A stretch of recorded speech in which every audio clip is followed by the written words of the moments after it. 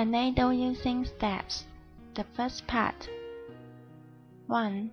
Open the special gift box and take out the disinfecting machine Tornado. Then open the interior. Take out the user manual. 3 AA batteries and 1 adhesive type.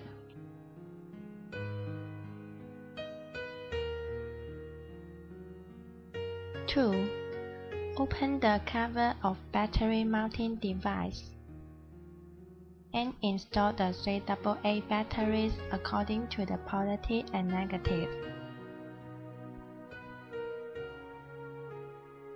Then close the cover.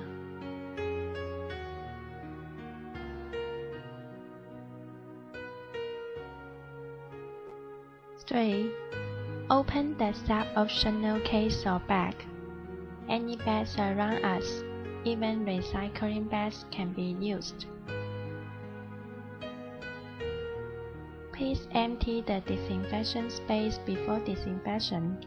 The disinfection space is specialized for the disinfection of the tubes, heat humidifier, and inside of the CPAP.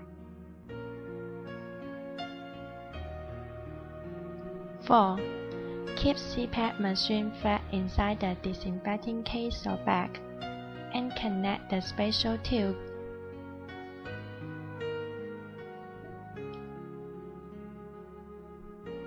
Wire connect the other side of tube to the disinfecting machine outlet.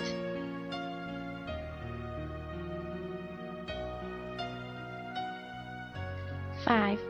The medical adhesive type can closely connect the special tube of CPAP and gas outlet of disinfecting machine. The interface of new tube is tight, so it needs to wrap some layers.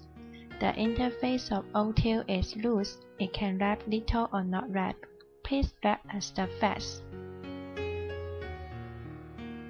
6. Set the disinfecting time and start tornado.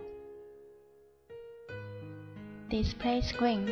Display screen shows the disinfecting time. To set up the time, please refer to disinfecting steps. Power button. Press power button then you can set the time. Timer button. Press this button to increase the time. One depression for every 5 minutes up to a maximum of 30 minutes. Press this button to decrease the time. One depression for every 5 minutes up to a maximum of 5 minutes. Start button. Press start button then you can start the machine. Ozone is being generated.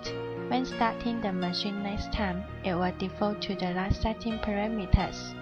Please set up the required time before pressing the start button the machine can be placed randomly in the case or bag.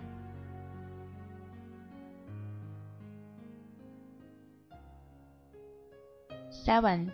Close the sub-optional case or bag. The whole installation and using steps of Tornado are finished.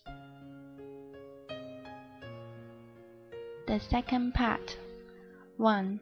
When time is up, the machine will automatically power off disinfection process is over. 2. Open the disinfected case or bag. Take out the CPAP machine.